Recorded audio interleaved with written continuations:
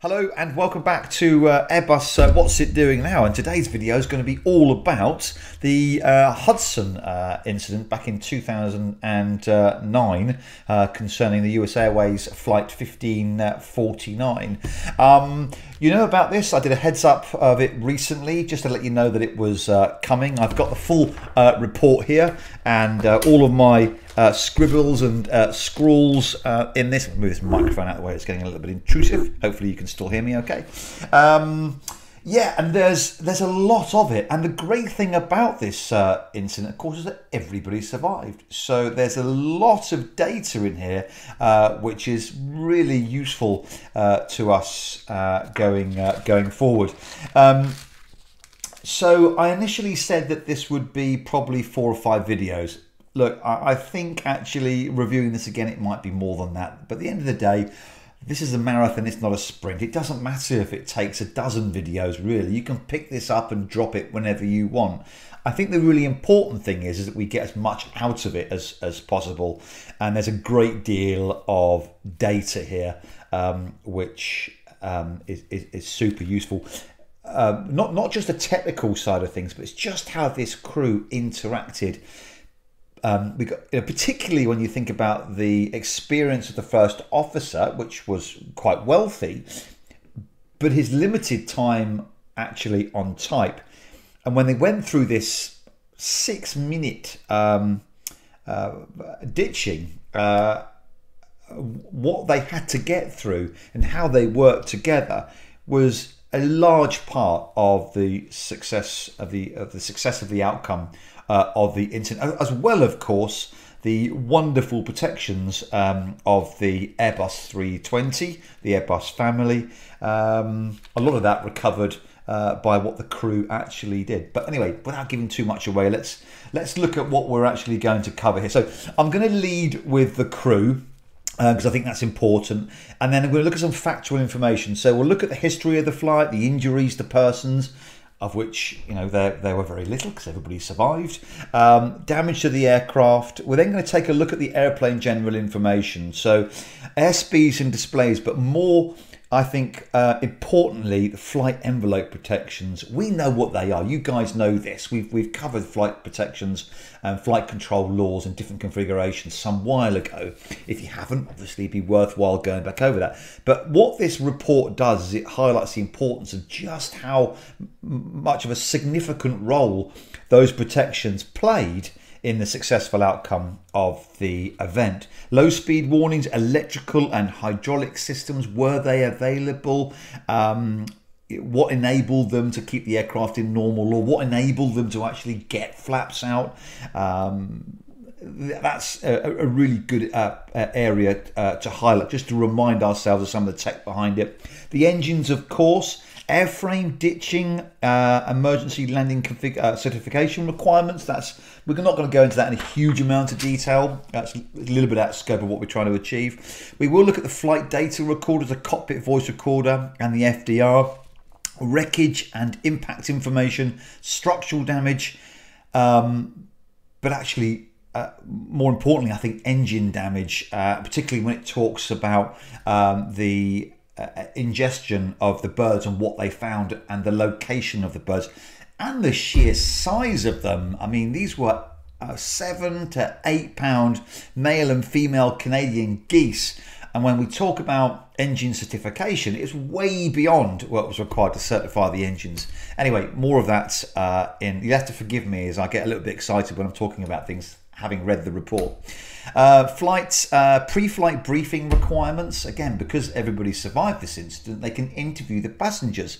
You'd be amazed, well, you might not be amazed actually, how little uh, information that the, the passengers actually take on board. How many, how few of them actually listen uh, to the briefing, and actually how uh, few passengers actually even grabbed life jackets, even though they were they were ditching. I mean, the water was flooding at the back of the aircraft, so in no uncertain terms, they were in the drink.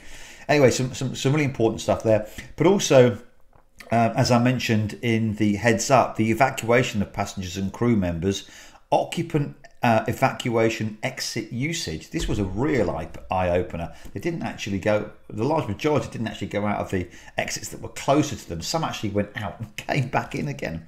Um, Anyway, we'll, we'll, take a look at that aeroplane performance study.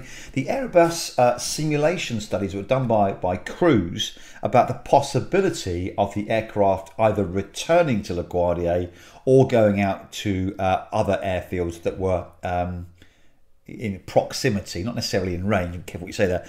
Um, and the what the crews did when they knew about the event, where they could go, and when they built in a sort of a 30 uh, second um, startle factor. So it's some, some important criteria uh, to, to look at there.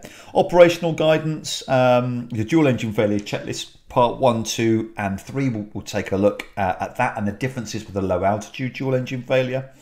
Where the crew actually got to in that checklist, uh, which was not very far given the limited time that they had, and what was missing essentially.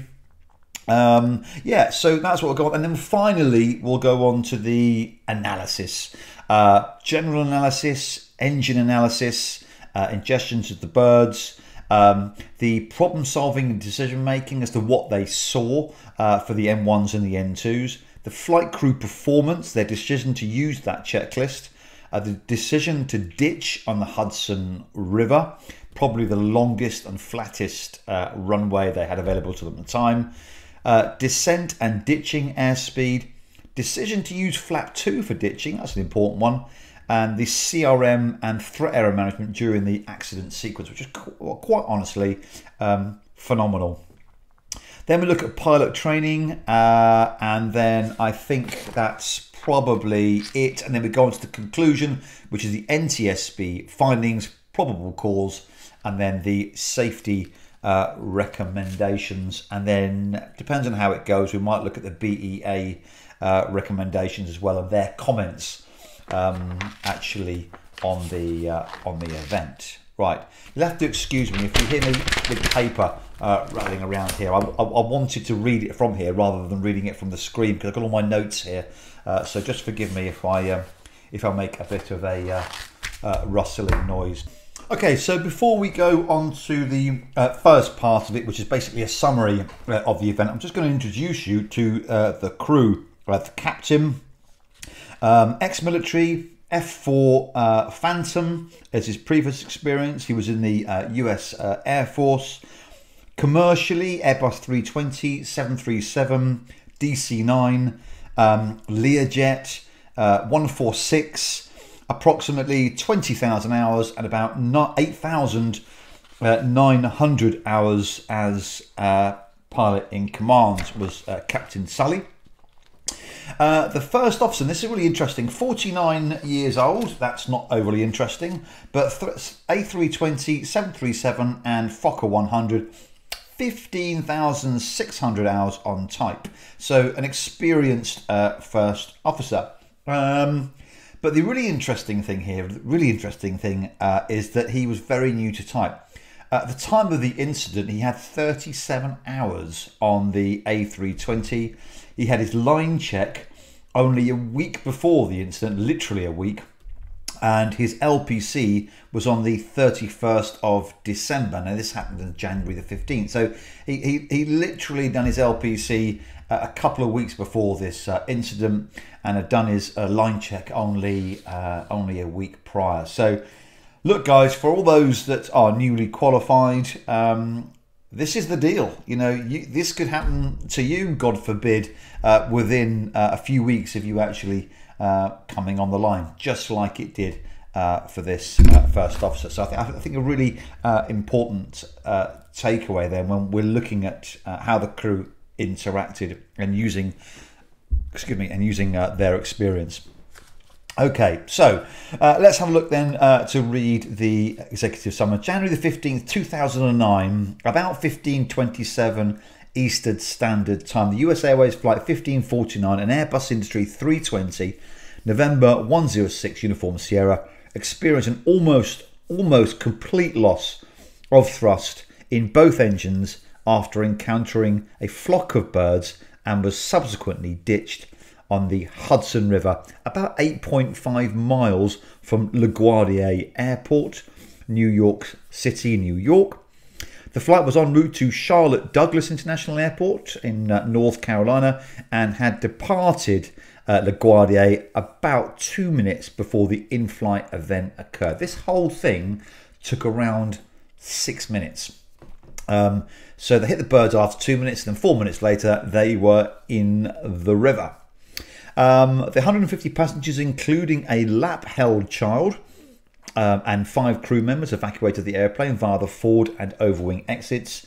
One flight attendant and four passengers were seriously injured, um, and the airplane was substantially damaged. The uh, scheduled domestic passenger flight was operating under the provisions of Code 14 FAA Regulations Part 121 on instrument flight rules and flight plan. Uh, the visual uh, meteorological conditions prevailed at the time of the accident, so it's a nice day out, apart from the birds. Um, all 150 uh, passengers, seven crew survived. Only five serious injuries. Uh, uh, and what the I guess the FAA define as serious injuries is anybody that's hospitalised for greater than 48 hours. Quite remarkable. I mean, it really is remarkable. Um, that, uh, the, the, the, success of the outcome of this this this event. The National Transportation Safety Board (NTSB) determines that the probable cause of this accident was the ingestion of large birds into each engine, large birds, uh, which resulted in almost total loss of thrust in both engines and the subsequent ditching on the Hudson River, contributing to the fuselage uh, damage and resulting um, unavailability of the aircraft aft slides. That was uh, one contribution, was a fuselage damage. Uh, the Federal Aviation Administration approval of the ditching certification without determining whether a pilot could attain a ditching parameters without engine thrust. Well, they just don't do it, do they? And uh, the lack of industry flight crew training and guidance on ditching techniques, and the captain's resulting difficulty in his in uh, maintaining his intended airspeed on final approach due to the task saturation resulting from the emergency situation, which was all to do with him being able to maintain uh, green dot. Uh, which uh, which we'll talk about uh, later on. So, number of factors uh, involved in there. Contributing to the survivability of the accident was one, the decision making of the flight crew and their crew resource management during the accident sequence, which I've mentioned already. Two, the fortuitous uh, use of the aeroplane that was equipped for extended overwater flight, even though it wasn't uh, required. Um, and three, the performance of the cabin crew whilst expediting the evacuation of the aeroplane. And four, uh, the proximity of the emergency responders. So, yeah. Um, it's a teamwork, isn't it? You know, it's teamwork makes the dream work, as they say. So the safety issues discussed in this report relate to the following: in-flight engine diagnosis, engine bird ingestion certificate testing, which is uh, an important one we'll come on to later on, emergency and abnormal checklist design, dual engine failure and ditching training, and the effects of the flight envelope limitations and aeroplane response to pilot inputs.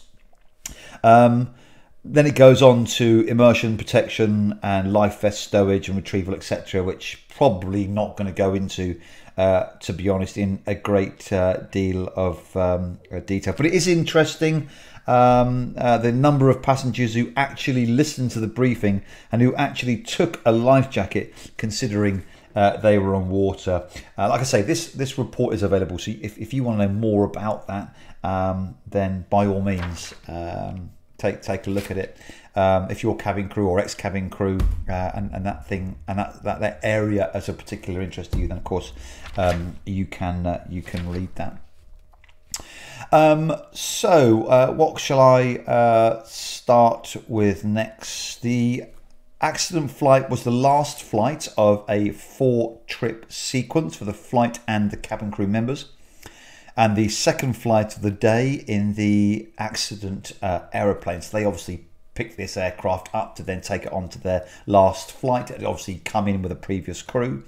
The flight crew flew from Pittsburgh uh, International uh, Pennsylvania to uh, Charles Charlotte Charlotte Douglas International on a different airplane, and then flew the accident airplane um, from uh, Charlotte uh, Douglas to LaGuardia. Forgive me if you're from this area of the woods. You'll know exactly what this is. My pronunciation probably isn't fantastic. The flight crew reported that the flight uh, from Charlotte Douglas International to LaGuardia uh, was uneventful certainly less eventful than the subsequent flight. According to the cockpit voice recorder transcript 152454, the LaGuardia Air Traffic Control Tower cleared the flight for takeoff on runway 4. At this time, the first officer was the pilot flying, the captain was the pilot monitoring, and uh, initial portion of the climb was uneventful. Take note of these times, uh, guys and girls. Take off the ditching was six minutes. And that is really quick. It's taken me that just to read this initial initial couple of paragraphs. So just gives you an idea of just how quick this is. And in fact, when I when I'm reading this, I often feel that my my heart rate's elevated, and I almost read it more quickly as it's happening. Um, you, so you can imagine what that what they uh, would be going through. A 15:25:45, the LaGuardia air traffic controller instructed the flight crew to contact New York terminal radar approach, which is LaGuardia departure control. The captain then contacted departure control at 1525 uh, 51, about a minute later, advising them that the aeroplane was at 700 feet and climbing to 5,000 feet. The controller then instructed the flight to climb and maintain 15,000 feet, and the captain then acknowledged the instruction. So this is all about a minute after takeoff. According to the CVR transcript at 15:27:10, the captain said, "Birds." One second later, the CVR recorded the sound of thumps and thuds, followed by a shuddering sound. According to the FDR data, the bird encountered uh, the uh, sorry, the bird encounter occurred when the aeroplane was an altitude of 2,818 feet above ground level, and the distance about 4.5 miles northwest of the approach end of runway 22 at LaGuardia. Now, I'll put the air traffic control radar trace up here if I haven't already, just to give you an idea of the sort of the geography. So 1527 uh, 13, about two and a half minutes after the takeoff, a sound similar to a decrease in engine noise or frequency began on the CVR recording. FDR data indicated that immediately after the bird encounter, both engines, fan and core, that's N1 and N2 respectively, speed started to decelerate. Now it says in the report here, see section XYZ for more information about the aeroplane's performance during the accident uh, sequence. It's just worth just having a, a little recap here because obviously I, have read this on and I've, I've made a, a, couple of notes here.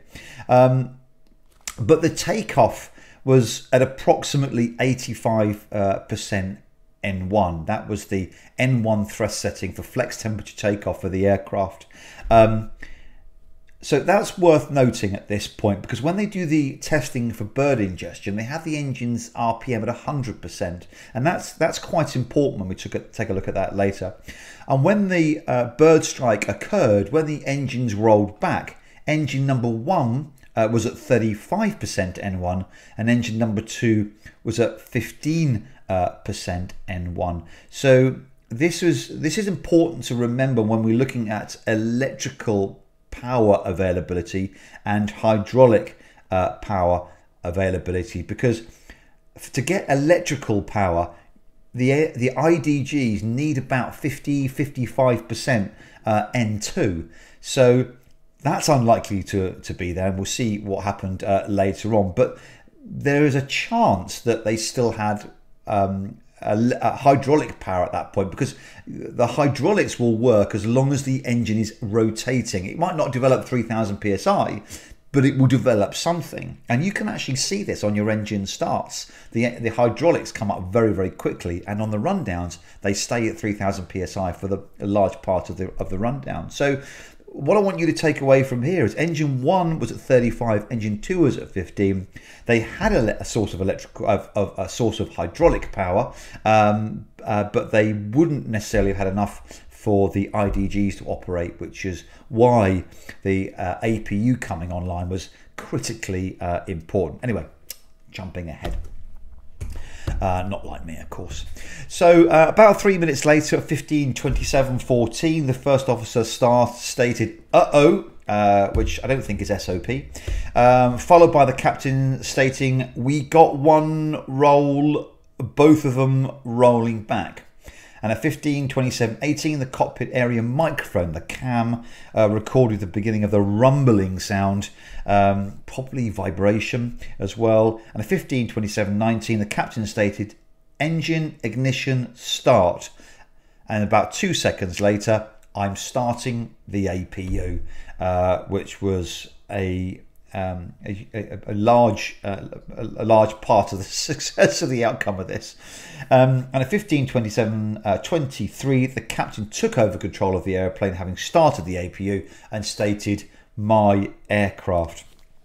Um, so to have the presence of mind really in starting the APU uh, uh, ensured that the aircraft then, with the power rundown, was then uh, both AC1 and AC2 were powered. It meant you could have um, the uh, blue electric pump uh, operating as well, as well as the aircraft being in normal law. So, like, like I say, um, a huge part of the, uh, the, the the success of the result of this, of the outcome of this um, this event. At 15, 27, 28, the captain instructed the first officer to get the QRH, uh, quick reference handbook, loss of thrust on both engines. It's an enormous uh, checklist, which they had no hope of, of getting all the way through. And at 15, 27, 33, the captain reported emergency situation to LaGuardia um, departure controller stating Mayday, Mayday, Mayday. This is Cactus 1539. Um, hit birds. We've lost thrust on both engines and we're turning back uh, towards uh, LaGuardia Airport. Of course, it was 1549 was the flight number, but we can excuse him uh, that misdemeanor. Um, Cactus we're turning back towards LaGuardia. The LaGuardia departure controller acknowledged the captain's statement and then instructed him to turn left heading 220 degrees. Now, in the footnotes here, it says that the air traffic controller didn't actually hear the Mayday, Mayday, Mayday because it was uh, trodden on by another uh, aircraft, but he heard obviously the subsequent uh, transmission. Um, interestingly, we have a look at the radar trace here. When the instructed uh, 1549 uh, to turn uh, onto a heading of 220, it put them straight down uh, the Hudson, which um, well, they they needed some good luck at least, didn't they? It was the longest wet runway I think that they had available or would likely to ever see. 152750, the first officer began conducting part one uh, of the QRH dual engine failure checklist. Uh, engine dual failure checklist stating if fuel remaining, engine mode selector, ignition, uh, which is what he commenced and did. The captain responded, ignition. The first officer then stated thrust levers confirm idle, the captain then responded idle. About four seconds later, the first officer stated, Airspeed optimum relight 300 knots. We don't have that. And the captain responded, We don't. Now, this would have been the first time that this uh, first officer would have looked at this checklist, uh, probably. I'm not too sure what was involved in ZFT training, if that's what they went through, given his experience uh, in, in, the sim. Uh, but I dare say, if it wasn't the first time, it was probably the second time.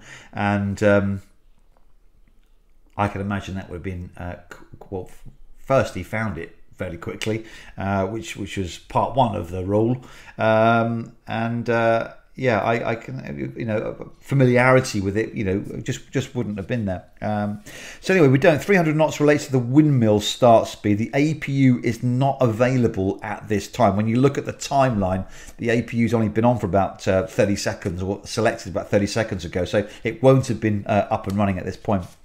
A 1528.05 LaGuardia departure controller asked the captain if he wanted to try and land at runway 13 uh, at LaGuardia, which would have been a further left turn to bring him on, uh, in on 13. The captain responded, We're unable. we may end up in the uh, Hudson River. So this is less than four minutes now after takeoff. They're facing straight down the eye of the Hudson River, looking around thinking, I'm not going to be able to make that. It looks like we're going straight in the river. The first officer stated emergency electrical power, emergency generator not online, and a 1528.19 about, um, what was that?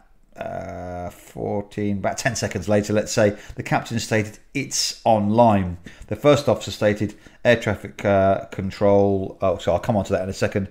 Um, the APU was not online at this time and only um, approximately one minute after starting. So, with the N2s being less than 55%, so it's likely that the um, um, generators uh, won't have been online um, and uh, the rat did deploy and uh, was actually found with the blades intact deployed as part of the um, uh, when when they recovered when they recovered the aircraft. So yeah, so so the, the point is here: the rat came out. It wasn't originally online, and then some seconds later, it came online as expected because it takes a few seconds, doesn't it? It takes about eight seconds to deploy and then come online when it realizes that both AC buses one and two are not powered, and the APU hasn't started yet. Um, so yeah, that would have started on uh, batteries likely, and was taking its time to run up. The rat came out and then uh, came uh, online, which then gave them the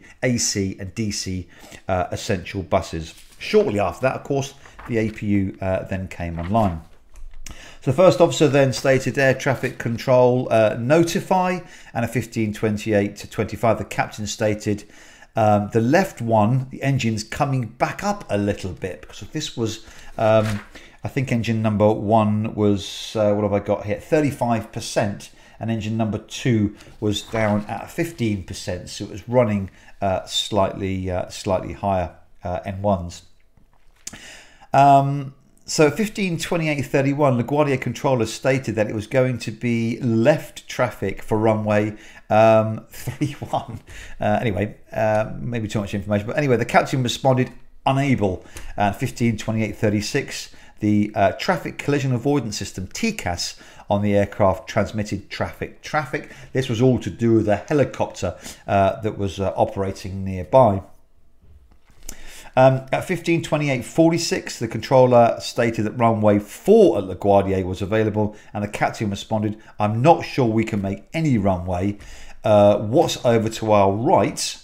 Um, yeah, what's over uh, to our right in New Jersey, maybe Teterboro.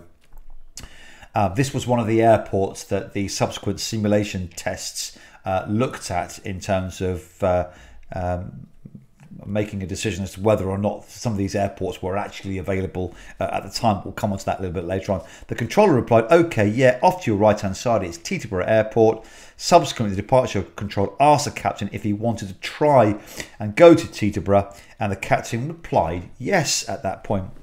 Now, 15 uh, 28:45, some 15 seconds later, while the captain was communicating with ATC, the first officer stated FAC, which is the, you know the flight augmentation computer, off then on to get the characteristic speeds back.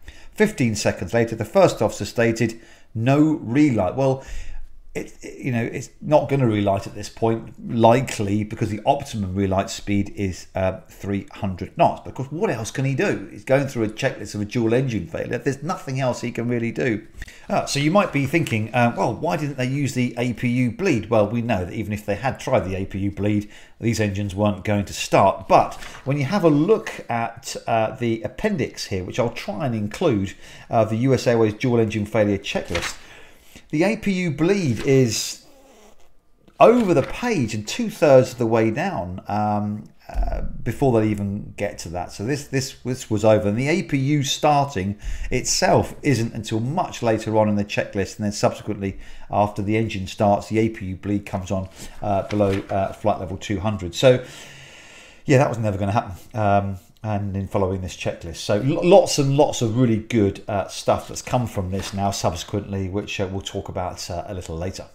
No relight after 30 seconds. Engine master 1 and 2 confirm.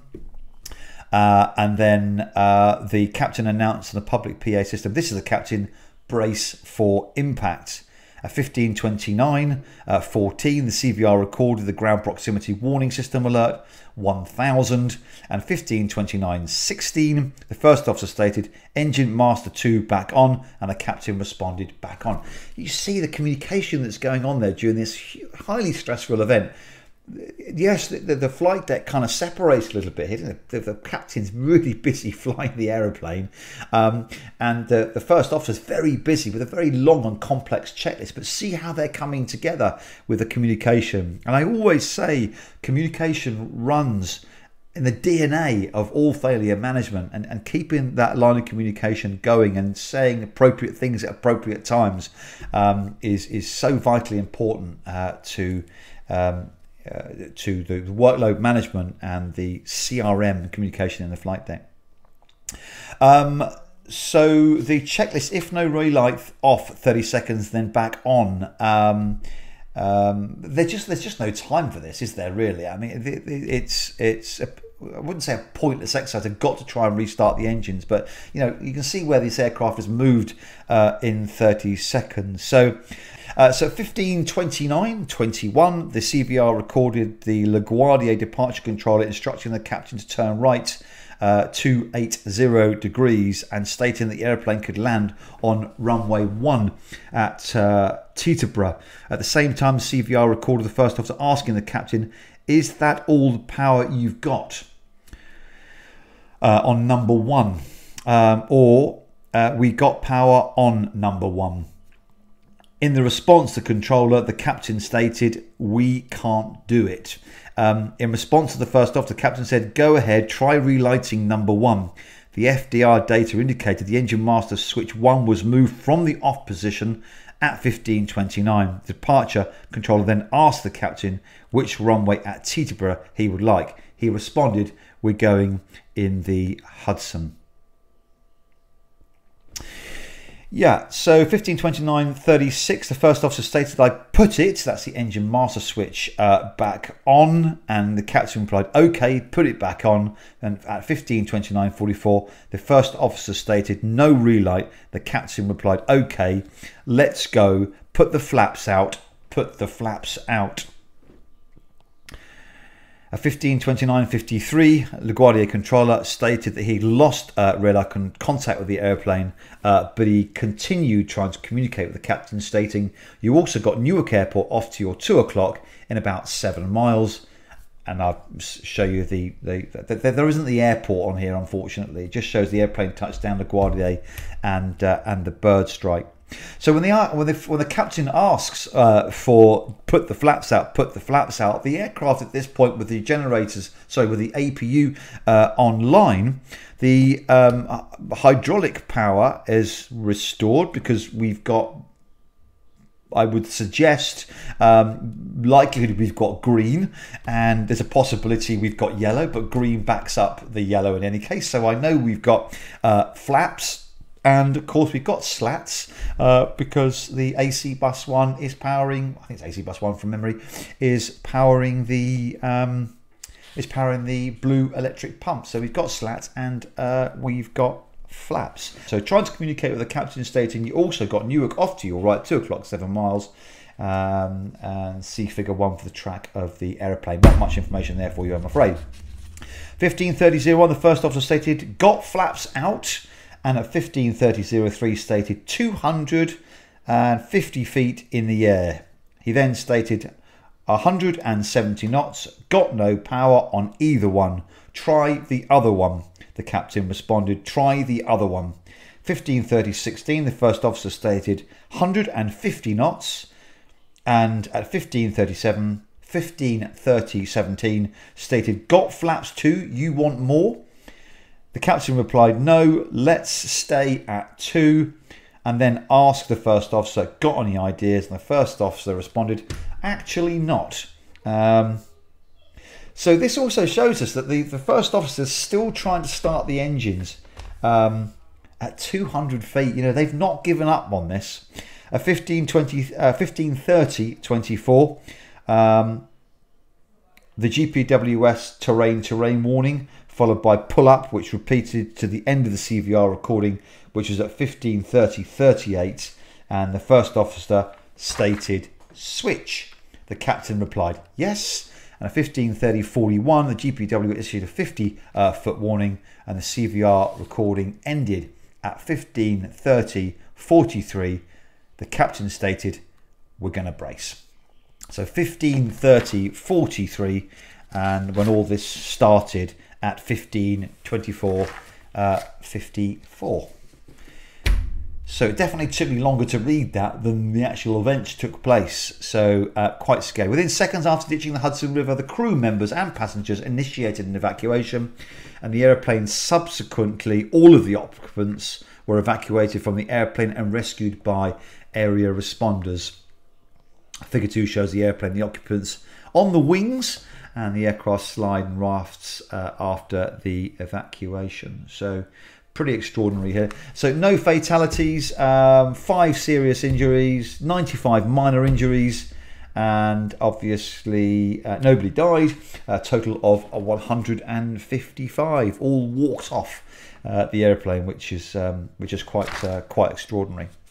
Um, okay, so I'm going to finish it there because I think that's a nice way to start. Um, We've had a look at the event, we've gone through the timeline, um, we've looked at some of the factors, and I've made references to some of the uh, topics that we're going to talk about uh, later on. So, hopefully, now you've got an idea of the event if you haven't heard of it before. Um, I haven't had a chance to take a look at this report, and you've got an idea of uh, some of the topics uh, that we're going to cover uh, later on. So I don't know when I'm going to do the next one now. Like I say, it's no rush. We've got lots of other things uh, to talk about, and um, and uh, I'll see you again with the next episode when we can do it. So take care, everybody. Fly safe. Keep the plates spinning, and I look forward to seeing you again on another episode of Airbus What's It Doing Now, whatever that might be in the near future. Thanks very much.